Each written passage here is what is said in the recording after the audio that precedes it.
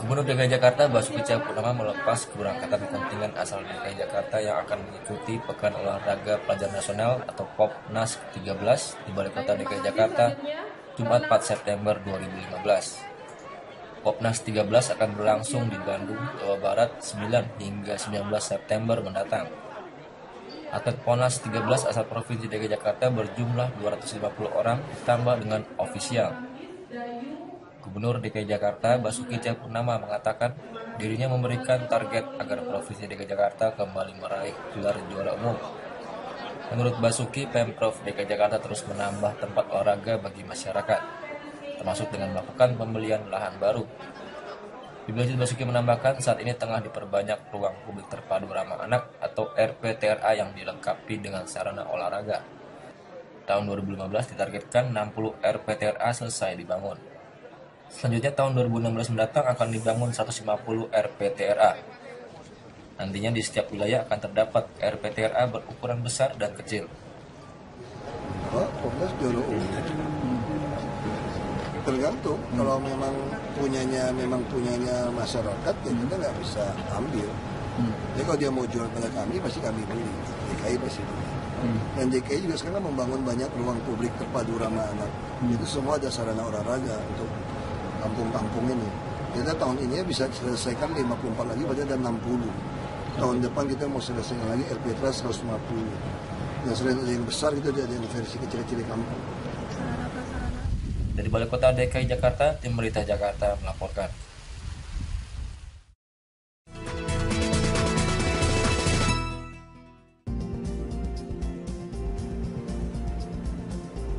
Kembali lagi bersama kami di Bincang Pagi, pemirsa Prof. Ikrar. Ya. Betul tidak Anda mencium juga memang kepindahan PAN ke pemerintah ini sangat kental dengan aroma transaksional? Ya kalau dibilang transaksional nggak juga ya. Kenapa nggak juga? Sebetulnya kan waktu mau pemilu presiden eh, Pak Hatta Rajasa kan sebenarnya juga pengen menjadi calon wakil presidennya Jokowi. Cuma kan karena pada saat itu apa namanya itu hiruk pikuk politik sedemikian dasarnya, perhitungan politik juga demikian besarnya, makanya kemudian akhirnya yang dipilih oleh Pak Jokowi adalah Yusuf Kala menjadi calon wakil presiden ya, dan karena itu kemudian eh, PAN bergabung dengan eh, Gerindra itu. Dan kemudian eh, saya ingin mengatakan bahwa apa yang dikatakan oleh teman saya Reza Patria itu juga ada benarnya ya. Yang Kenapa mana? demikian? Begini, sebetulnya persoalan antara KMP dan KIH itu eh, sudah mulai cair ketika Pak Prabowo itu mau hadir di dalam eh, sumpah eh, presiden dan wakil presiden di MPR. Ya.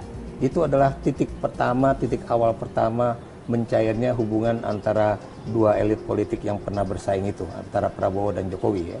Dan kemudian kalau Anda perhatikan juga ya, eh, memang namanya politik pasti eh, there is no freelance gitu ya, tidak ada makan siang yang gratis Betul. ya.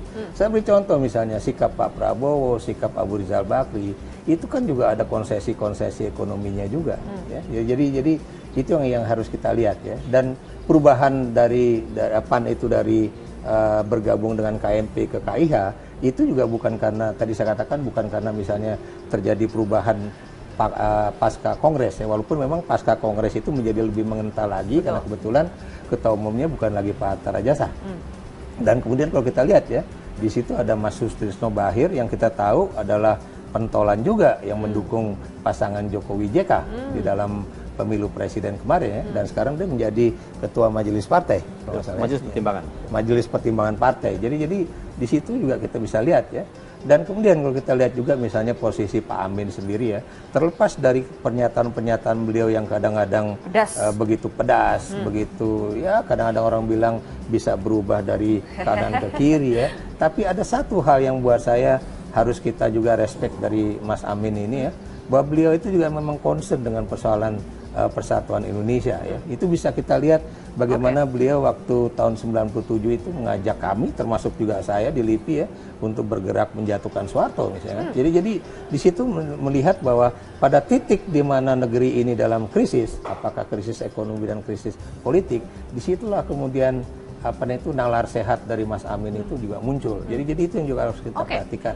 Dan ada jangan lupa ya, partai-partai di Indonesia itu terbelahnya bukan karena persoalan ideologi yang memang beda seperti di Australia antara partai buruh dengan liberal nasional. Tapi karena apa? begitu. Kenapa demikian? Karena memang uh, koalisinya itu sangat cair, sangat ditentukan oleh kepentingan politik uh, jangka pendek ketimbang persoalan yang memang sangat Prof, ketat. ketika gitu. disebutkan ini adalah koalisi permanen itu Tidak sama ada sekali koalisi tidak ada ya? permanen di dalam di dalam politik Indonesia ya, Eh, apalagi eh, pasca reformasi ini. Walaupun memang kalau kita lihat dalam sejarah politik baru pertama kali Hmm. sebuah partai politik itu pindah tempat Hmm. itu pasca eh, apa namanya itu pilpres ya. Yang ingin saya katakan di sini memang Golkar memang memang memang terjadi eh, dia pindah dari dari misalnya dari kelompok yang berkontestasi kemudian ya. masuk ke dalam pemerintahan. Tapi maksudnya Golkar itu kan di awal pemerintahan ya, baik, baik itu pemerintahan eh, apa namanya itu SBY JK ataupun SBY Budiono.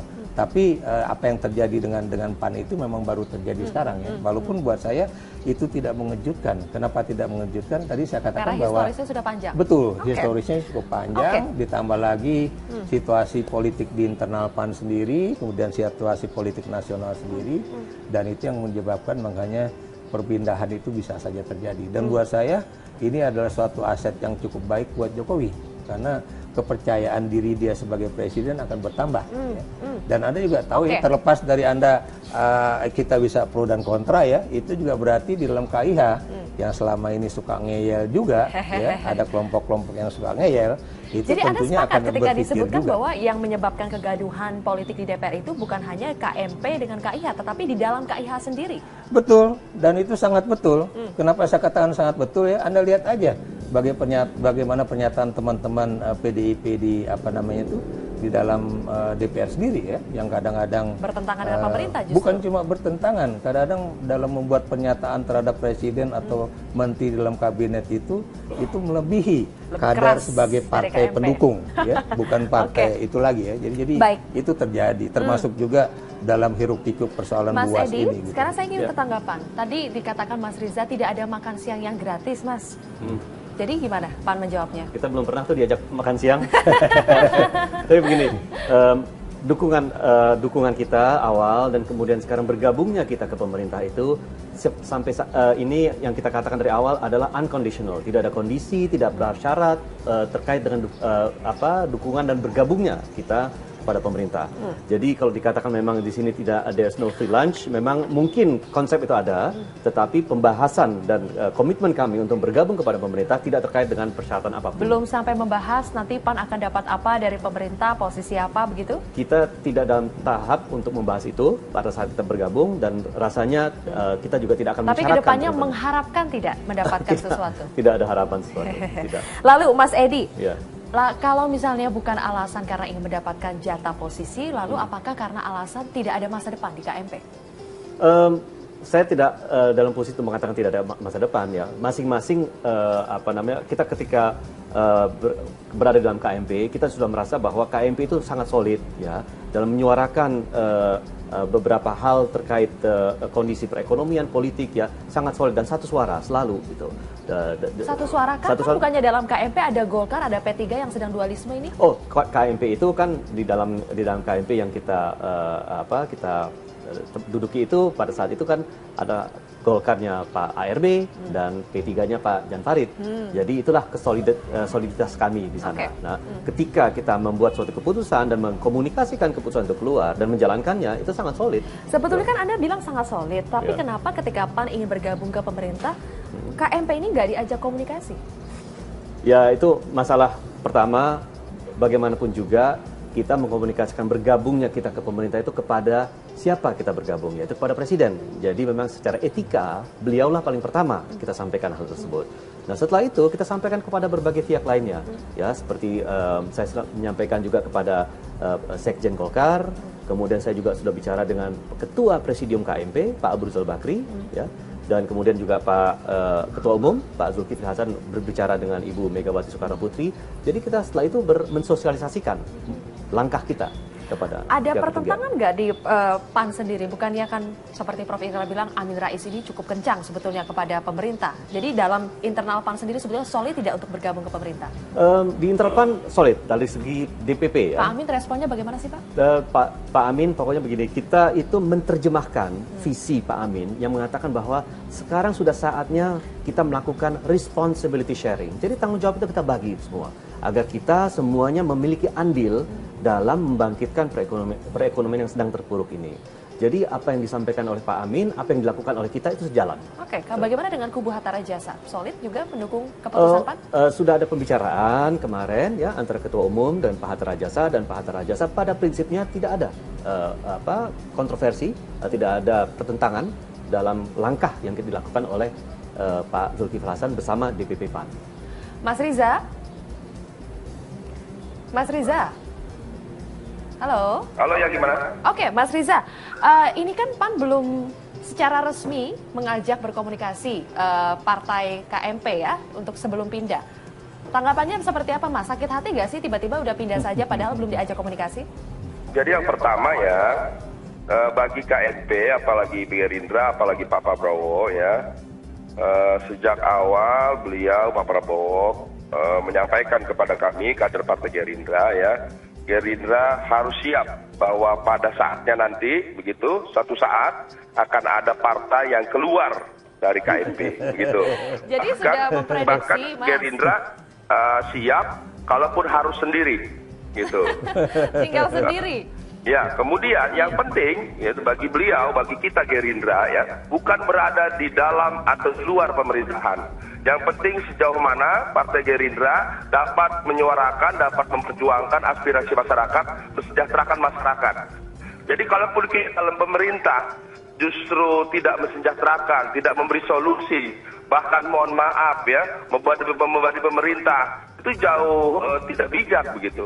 Nah jadi itu yang sering beliau sampaikan. Kemudian yang kedua ya, eh, ya kalau masalah eh, belum belum sowan begitu, belum lapor ya, Ya. saya kira itu masing-masing punya cara lah ya. Tapi kalau Pak hati, Prabowo, Mbak, kalau Nggak sakit hati Mas?